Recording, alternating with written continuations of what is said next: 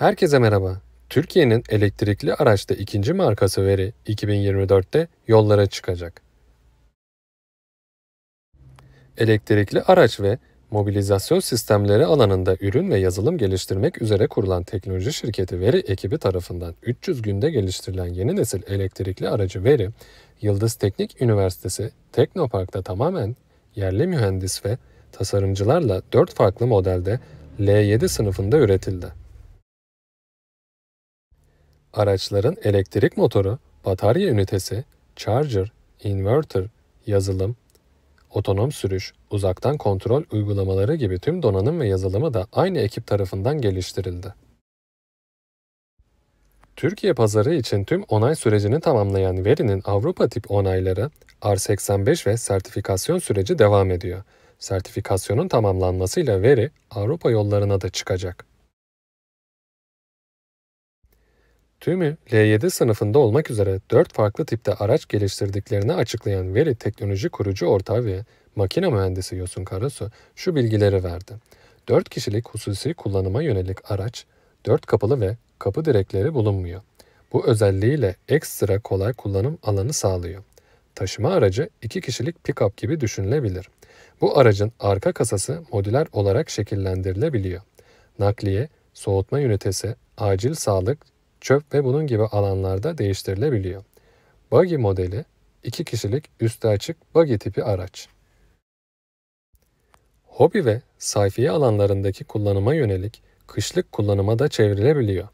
Otonom araç, tamamen otonom sürüş kapsamında kodlanarak veya uzaktan canlı sürüş ile kontrol edilen 1500 kilogram taşıma kapasitesine sahip sürücüsüz araç. Kullanım amacı askeri, sağlık, büyük sanayi tesisleri gibi alanlara yönelik. Kendi tasarım ve üretimleri olan 400 voltluk elektrik motoru, çoklu vites seçeneği sağlayan dişli kutusu ve 11 kWh ile 33 kWh kapasiteleri arası 3 farklı batarya paketi opsiyonu sunduklarını söyleyen Karasu, diğer özellikleri de şöyle sıraladı. Araçtan araca şarj desteği, taşınabilir yedek batarya, adaptif 4 çeker sistemi, multimedya ekranları, sürüş yazılımı, dokunmatik kapılar, 220 volt elektrik çıkışı, yağmur, park ve far sensörleri, ısıtmalı ve masajlı koltuklar gibi sınıfında öne çıkan donatılara sahip veri markalı araçlar, özel mobil uygulaması ile uzaktan kontrol edilebiliyor. Araçta Stepne bölümünde yedek bataryalarda sunduklarını açıklayan Karasu, bütün batarya sisteminin tamamen dışında bagaj içinde küçük bir depo sizi bir 10 ile 20 kilometre götürmeye yönelik alıp deşarj edebiliyorsunuz. Evinize götürüp şarj edebiliyorsunuz dedi. Veri mühendisleri tarafından elektrikli araçlara yönelik geliştirilen değişken vitesli dişli kutusunun TÜBİTAK projesi kapsamında hayat bulduğunu anlatan Yosun Karasu, geliştirilen dişli kutusu sistemi sayesinde veri markalı araçlar dünyanın İlk ve tek değişken vitesli dişli kutusuna sahip L7 sınıfı aracı oldu. Veri'nin elektrikli araçlar için geliştirdiği dişli kutusu yakın bir süreçte dünya pazarına satışa sürülecek bilgisini paylaştı.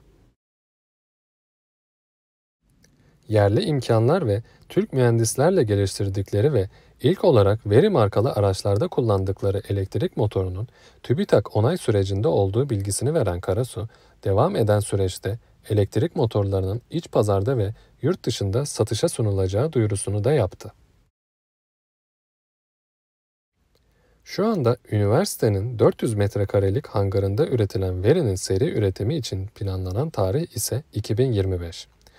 2025 yılı sonuna kadar Bursa Gemlik'te tamamlanması planlanan fabrika ile ilk etapta yıllık 10 bin araç üretim kapasitesi hedeflenirken 2024 yılı için 800 araç siparişi alınmış. En çok merak edilen menzil ve fiyata geldiğimizde elektrikli küçük araçlarda bataryalarının ortalama 10 kW olduğunu söyleyen Karasu, kendilerinde ise en küçük paketin 11 kW'a çıkarıldığını ifade etti. Bunun da menzil karşılığı bulunduğunu belirten Karasu, biz 300 kilometreleri görebiliyoruz dedi. Karasu, paketin içeriğine bağlı olarak aracın bugünkü ortalama satış fiyatını 25 bin dolar olarak açıkladı.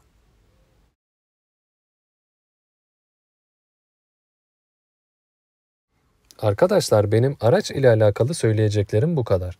Videoyu beğendiyseniz beğenmeyi, yorum yapmayı ve kanala abone olmayı unutmayın lütfen. İzlediğiniz için teşekkürler.